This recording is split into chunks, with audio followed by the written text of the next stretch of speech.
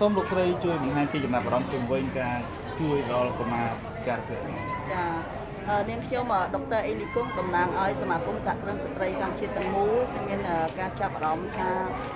ស្ត្រីទាំងអស់ដែលយើងខំដែលចូលរួមជាសមាគមសហគ្រិនស្ត្រីនឹងគោលបំណងដែលជួយចាចែករំលែកក្នុងការរកទទួលទានឲ្យបានជោគជ័យទន្ទឹមនឹងនឹងដែរខាងសមាគមស្ត្រីក៏មានគោលបំណងជួយធ្វើការងារសង្គមក្នុងនោះដែរផ្នែក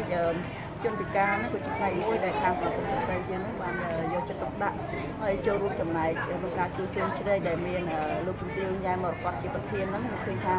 មានការចូលរួមស្រៈសកម្មពីសិល្បករថ្ងៃហ្នឹងប៉ុន្តែដោយឡែកខាងសមាគមសហគ្រិនស្ត្រីយើងខ្ញុំក៏មានការចូលរួមពីថវិកាពីសមាជិកមួយចំនួនដោយសារសមាជិកផ្សេងៗទៀតក៏អត់ទាន់ដឹងហើយគោលបំណងទៅថ្ងៃក្រោយខ្ញុំនឹងផ្ដល់ព័ត៌មានទៅដល់សមាជិកទាំងអស់ដែលសប្តាហ៍នេះមានសមាជិកដល់1300នាក់ជាងហើយខ្ញុំនឹងប្រម៉ែប្រមូលដើម្បី